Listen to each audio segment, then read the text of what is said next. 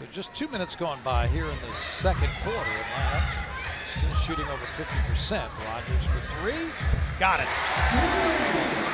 Sugar Rodgers can get on track out there. Points on the run. Sprinting. Rodgers. Good. And Sugar Rodgers has a dozen.